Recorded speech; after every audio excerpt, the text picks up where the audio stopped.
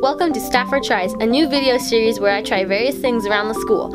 I'm Kira Auchenbach, Assistant Online Editor of the LHSBudget.com. In Staffer Tries, I will try different experiences around the school and see what's up with them, such as joining clubs, participating on sports teams, and other extracurricular activities. For our second video, I baked a pie with Emily Gordon Ross.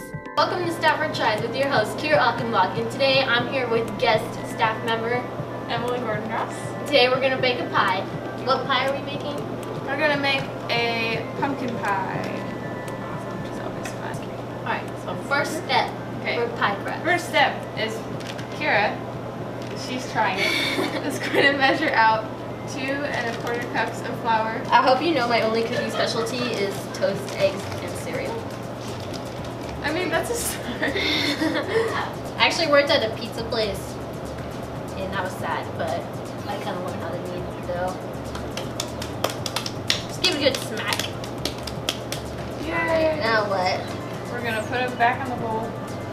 Alright. We're gonna refrigerate them for half an hour. It's gross, it's gross. Roll it out.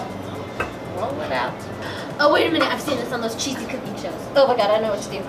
I'm so Except for excited. we're gonna, yeah. Like that.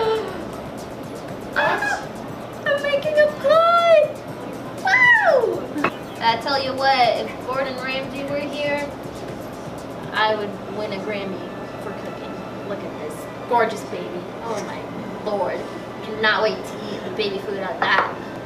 Oh. God. Gross, gross, gross. Oh lordy. Look at our little baby food baby go. It's gonna be so nice. Wow. Oh man, I've never seen such a good pie in my life. It looks so good. We're impatient. Mm. I'll take the lead. Alright, so this has been episode two of Staffer Tries with special guest Emily Gordon Ross, professional pie maker, staffer Oh as well. Pumpkin pie. Good stuff, guys. See you next episode.